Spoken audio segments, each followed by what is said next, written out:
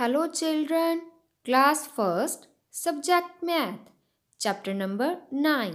Dear kids, today we will learn to separate things in different categories. Let's start.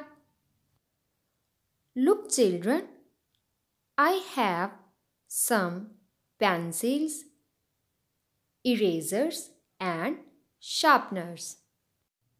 You are seeing they are in one category. Now we will separate them in different categories. Let's separate pencils first from this collection. Look children, I am separating the pencils from this collection. I have separated the pencils.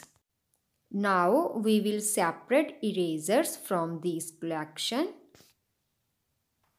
Now I am separating the erasers from this collection and look children, I have separated the erasers.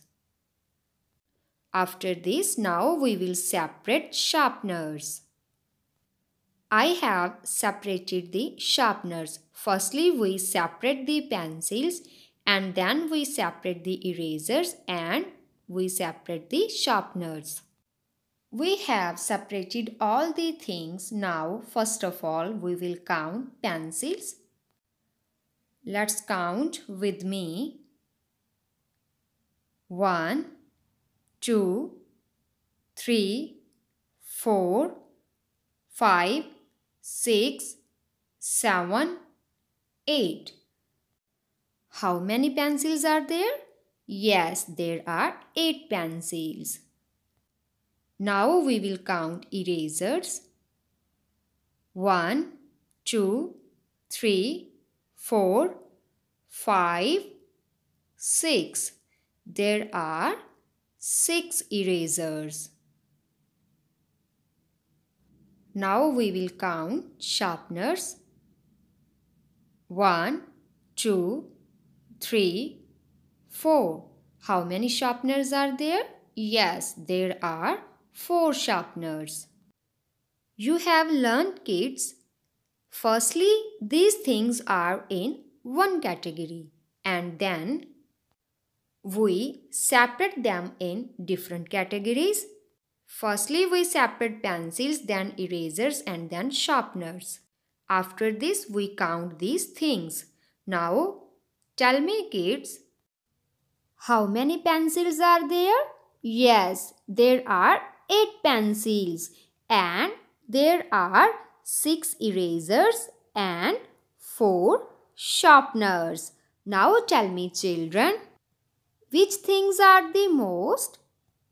Pencils, erasers or sharpeners? Count it and tell me yes. Pencils are most. Now tell me kids, which things are the least? Pencils, erasers or sharpeners?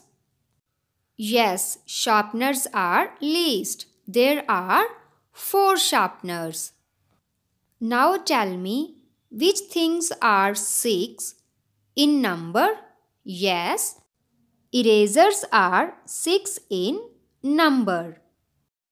Dear children, today you have learned how we can separate things in different category and count them and counting of which things are most or least.